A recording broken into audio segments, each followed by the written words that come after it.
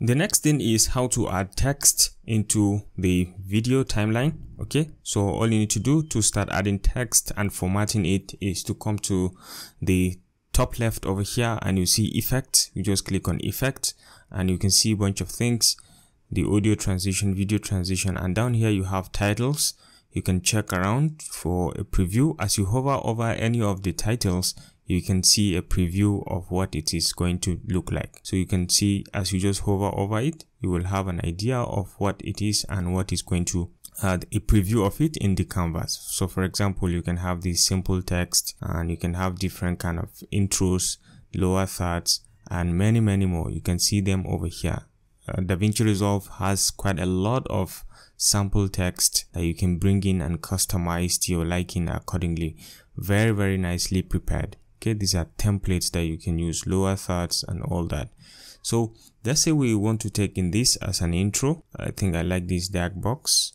Okay, so let's say we want to take in this as an intro. All we need to do is to select it, drag it into the timeline, okay, and drop it just like so and once we select it we can come to the inspector tab over here and you will have access to the basic editings of this particular text that you've brought in. Just like the name normal text editing tools for example you'll be able to change the font style and all that. You can change the font style to anyone of your choice and you'll be able to change the the symbol. Do you want it light regular bold extra bold or light italic or italicized all, and all that? You can select directly and you can change the color of the text. By mere selection of this and you have access to the color panel over here and you can change it to any color of your choice. You can select or you can just navigate around to be able to see a preview of how the coloration is going to look like.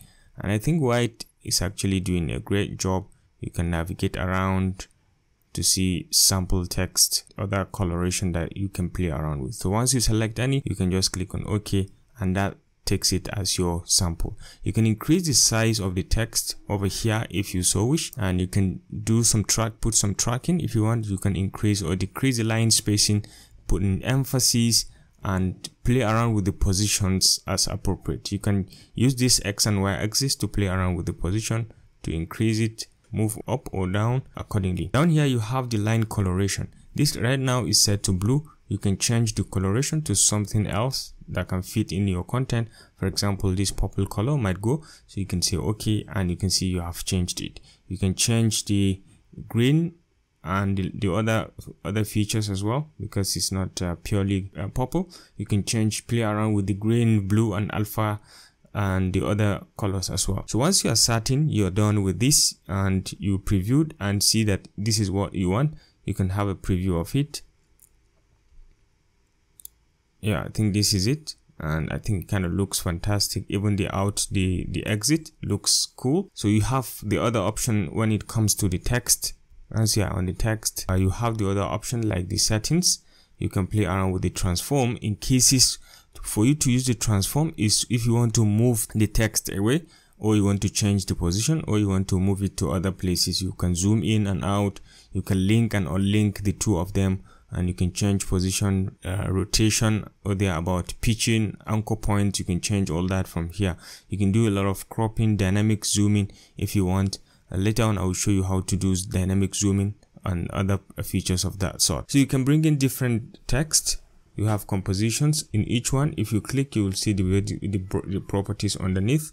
The dynamic zoom if you if you enable it you see the properties. The cropping you can do cropping of the text. Uh, they are about you can check and all that. So you are free to try it and see what you can do with this basic text. Within the video clip you can be able to bring in other text as well. So you can bring in simple text or something like caption to be able to to showcase what you are working on uh, very professionally.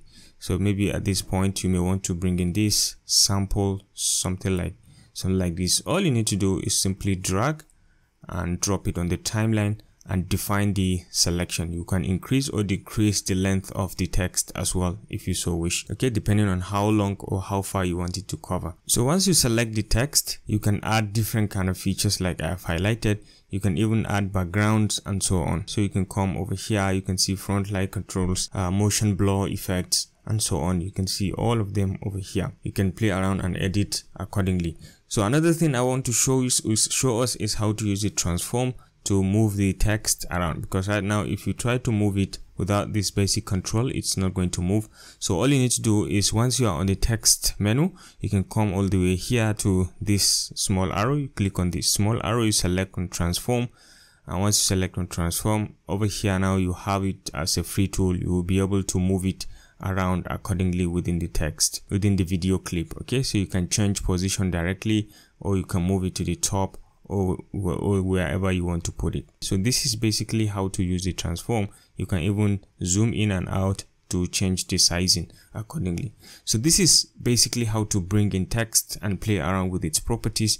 Remember you have both 2d and 3d text. Once you come down here you will see a lot of you can have subtitles. Also if you want to add subtitles and you can have 3d text as well if you want. So these are 3d text uh, effects if you want to add Thanks for watching and I'll see you in the next video.